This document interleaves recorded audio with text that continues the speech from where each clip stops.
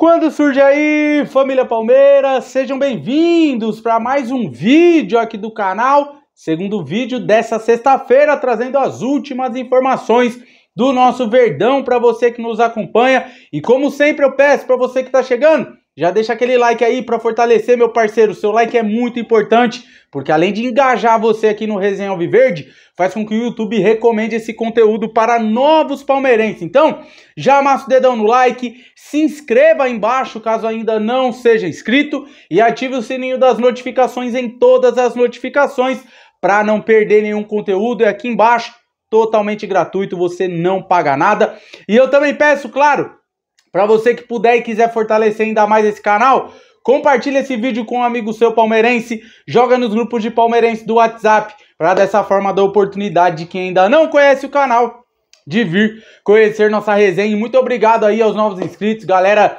chegando todos os dias. Obrigado mesmo pela força. Atingimos 71.400 inscritos, graças a vocês. E vamos por mais, hein? Ah, e fiquem ligados que no final do vídeo tem salve para os inscritos e salve para os membros também do canal. Fechou? Bom, família, a atividade de hoje na academia de futebol foi com os jogadores divididos em dois times. E aí eles aprimoraram saídas de bola, balanços, inversões de jogo, transições, jogadas específicas e finalizações. Ainda por fim, a comissão técnica comandou uma atividade técnica com os dois times com objetivos específicos. Amanhã, pela manhã, Palmeiras finaliza a preparação e o Abel definirá a equipe que vai encarar o Juventude depois de amanhã, domingo às 8 horas da noite, tá? Então Verdão faz o treino, o último treino amanhã na academia de futebol. Os atletas almoçam e viajam rumo a Caxias do Sul. Não tenho certeza se vai ser no avião da Placar, tá? É, não deu mais nenhum problema, ainda bem, né? Com o avião aí da empresa de Leila Pereira. Provavelmente será com o avião da Placar. É, mas isso também pouco importa para nós que o Verdão traga aí, vá é, faça um grande jogo aí, faça uma boa viagem, faça um grande jogo e traga os três pontos e voltem bem também, né? Voltem bem de viagem aí. Família, hoje tivemos o julgamento de Caio Paulista pela expulsão contra o Criciúma. E até comentamos aqui, é, pô, por que, que ele foi denunciado para ser julgado pela expulsão contra o Criciúma? Ele era o último homem, puxou o jogador do Criciúma, tomou vermelho. Foi para julgamento. Foi para julgamento, tá? Mas enfim, Excelente notícia aí. O lateral esquerdo foi absolvido pelo STJD e é reforço aí para o Palmeiras contra o Juventude. Só faltava também, né, o cara ser suspenso. E olha só, hein, ele poderia pegar até três jogos de suspensão, mas ainda bem, tá livre aí, né, é, dessa punição. Cara, seria um negócio absurdo. Vocês lembram da expulsão do Caio Paulista, do lance que foi? Cara, ia ser um absurdo realmente. Família, mudando de assunto aí, Palmeiras bateu o martelo por negócio com Vitor Reis. Deixa eu explicar para vocês aqui. Após o Mundial de Clubes de 2025, o Super Mundial, o Verdão deseja receber no mínimo, no mínimo, 80, 185 milhões de reais nós temos 100% aí dos direitos do zagueiro de 18 anos. Então os clubes interessados já vieram atrás do Vitor Reis, sinalizaram aí com proposta de 120 milhões, né? O Palmeiras nem nem deu sequência na, nas conversas. Então o Verdão, no mínimo, deseja receber 185 milhões de reais.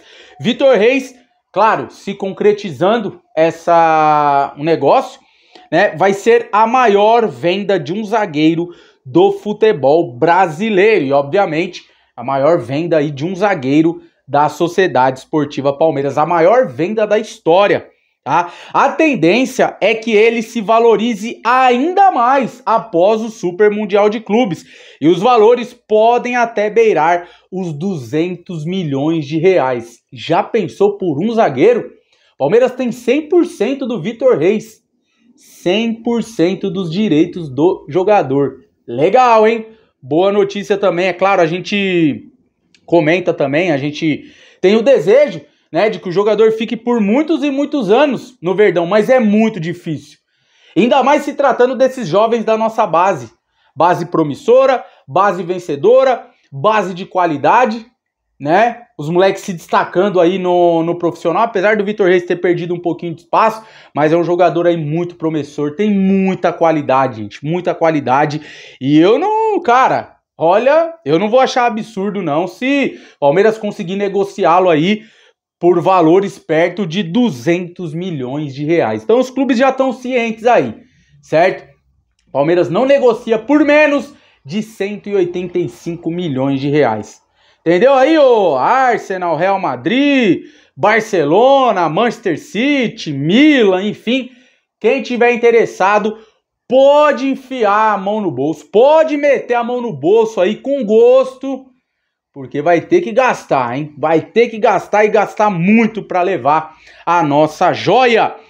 Por falar em joia, vamos falar de outra joia aqui. Estevão se tornou o novo embaixador da Benegripe. Um é da Neusaldina, o Hendrick, é, e agora o Estevão é da Benegripe, empresa brasileira de medicamentos. O contrato entre as partes é válido por cinco anos.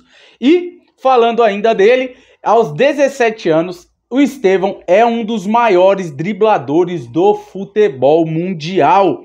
É o que mostra o Centro Internacional de Estudos dos Esportes em levantamento exclusivo.